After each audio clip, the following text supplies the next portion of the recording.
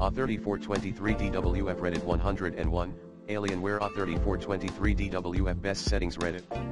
The Alienware A3423DWF has been discussed on Reddit, where users have shared their honest reviews and experiences. Here are some of the key points mentioned, pros asterisk, exceptional OLED clarity with no backlight bleed. No motion blur or ghosting. Adequate brightness even in well-lit rooms.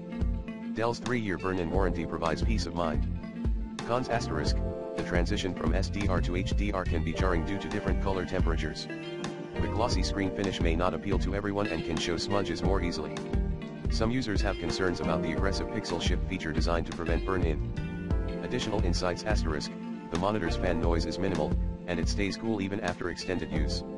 10-bit color is only available at frame rates below 100 Hz, though some users don't notice a significant difference.